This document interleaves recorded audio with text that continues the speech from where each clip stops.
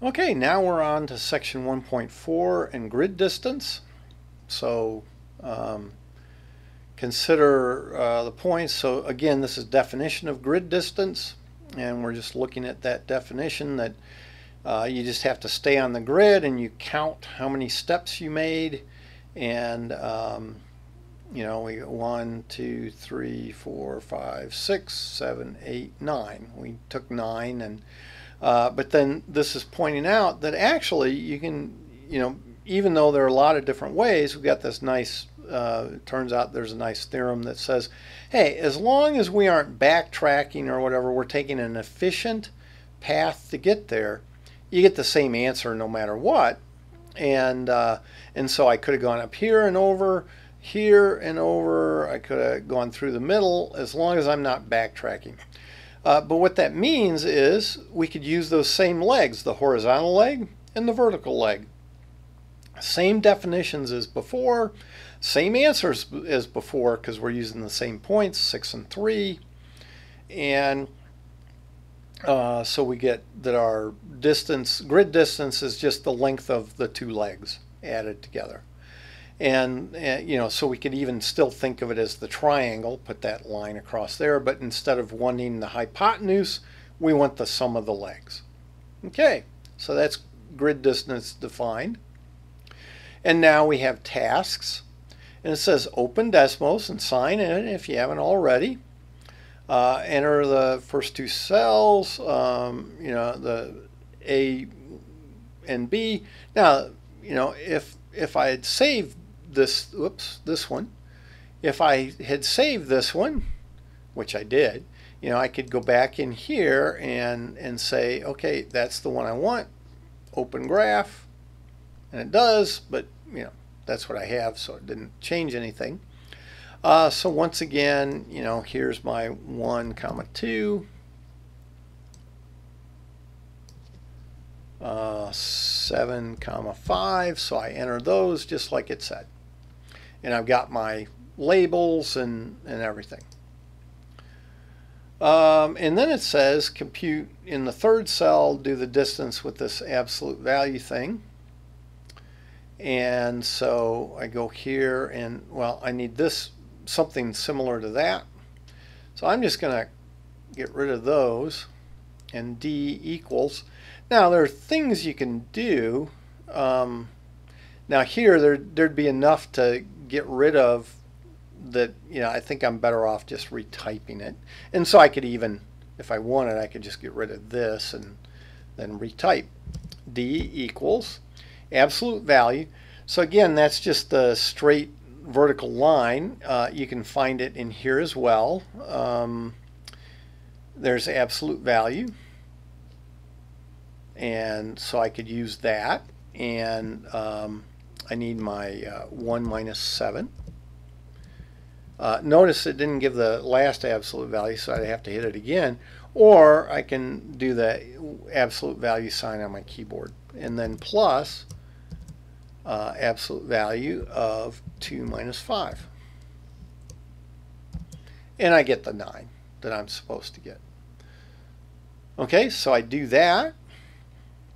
It says this is what it ought to look like.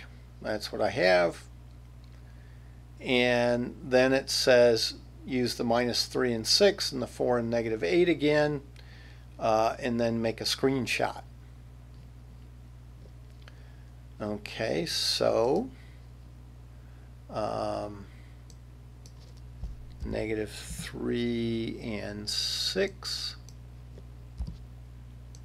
uh, 4, negative 8, and um, negative 3 minus 4, and 6 minus a negative 8. And I get 21, and there are the points again, and there we go. You know, so, uh, and then it says, um, oops, do that, take a screenshot of it. Well, okay, so once again, I do the screenshot, uh, control print screen. There's my screenshot. I go to my document, And I put that one in. So I'm down here, a little more room. Uh, control V or paste.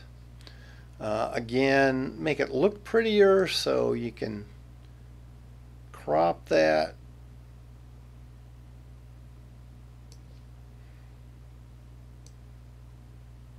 There we go. And there's my nice picture. I'll click out there. Uh, click in it again to make it smaller.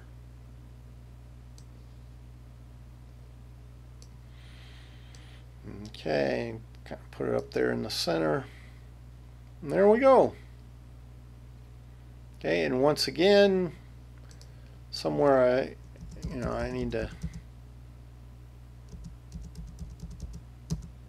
come down here and, oops, backspace, um, you know, figure four, colon, and this is uh, what, um, uh, I'll pick a similar title to what I used for figure one. What the heck was that? Desmos and Euclidean distance, so I'll say Desmos and grid distance.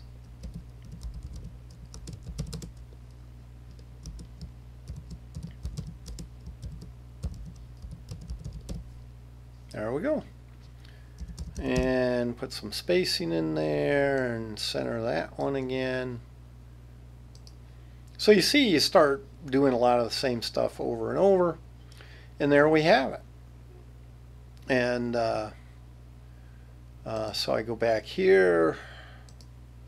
So I've got that one, save your graph. Uh, yeah, that's probably a good idea. And maybe save that one as grid distance. So um, yeah, I had suggested just distance on the first one. Maybe I should have said Euclidean distance, but that gets kind of long. But see, so now um, I don't want to hit save. Uh, if I save it, it'll save it as that. So in this case, click here and um, duplicate. And so here it says copy of. Well, I'll get rid of the copy of. And um, I'll go, I'll put grid in here and save. And there you go. Got that one. So that gets me um, uh, through 1.25. Now the grid distance in context. Uh, we want to go through here and get uh, all of these um, distances for the uh, Pikeville Med Center. Now, you know, you could have uh, certainly saved all this before and then just used the link again to get a new one um, and uh, redone it that way. You know, doesn't matter to me. You can do whatever you like. Now here, um, I don't know, I'm just gonna, I, I clicked inside there, did a backspace, and that got rid of uh, that. And now, if I, actually if I highlight that and I come down here and I pick absolute value, see it did the absolute values around it. Now, I don't want the square parts, get rid of that. I don't want the square parts, so you get rid of that. I'll get rid of that parenthesis. I can get rid of that one. Okay, and if I, now I could simply just type in an absolute value sign and an absolute value sign, but you could highlight and use the thing down here. Uh, but there we go, absolute values. And again, what I think I'll do is I'll, you know, highlight that, do a control C, come down here, control V, and again I need a 2.95 and a 4.05 so here I'm doing the grid distance for each of these and you see I get a 7 a 5 and a 7 and when we go here you know uh, so it asks me to do that. It shows the the 5 and the 7.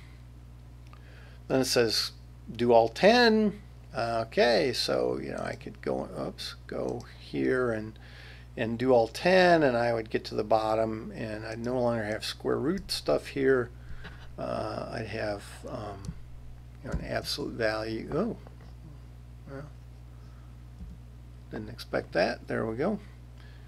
That was interesting. I, I, guess I didn't realize I could do that. I highlighted that whole thing and I hit the absolute value key and I just put absolute values around it as opposed to making an absolute value key. And then I did a backspace and got rid of it. But, but anyway, you will go down and you will get, you know, all these um, uh, cases all the way to the end.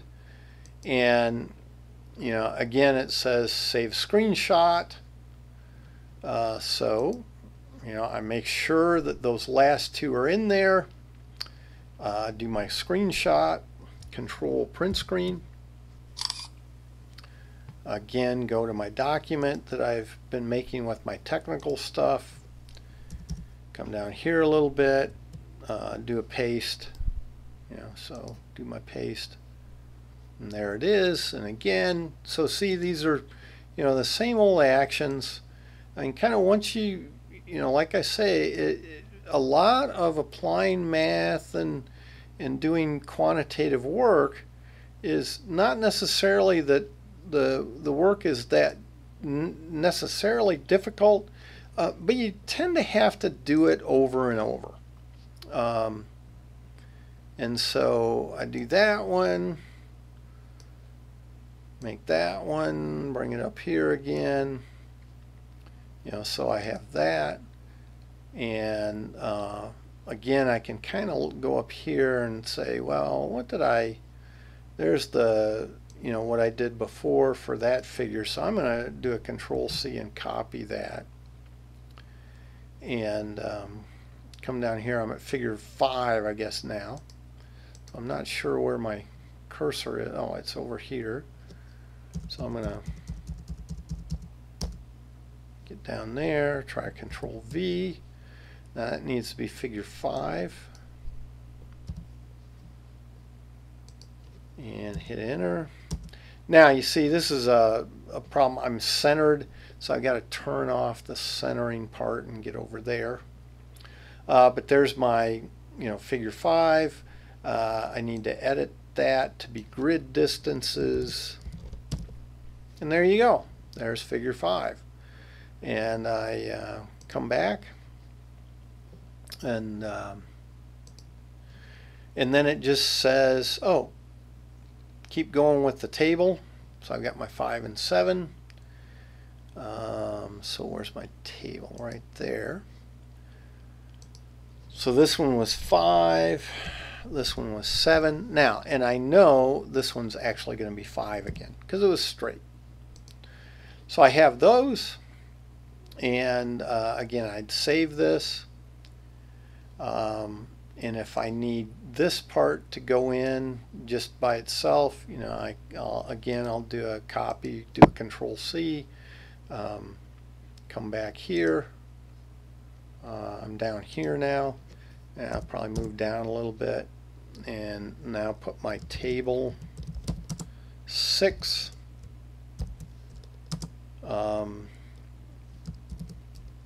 Euclidean and grid distances. Oops something like that. Uh, there's my my table. Um, come down here for the next stuff. Uh, probably center that. Okay now um, uh, come back and I guess that took care of 1.4 so we'll stop that recording there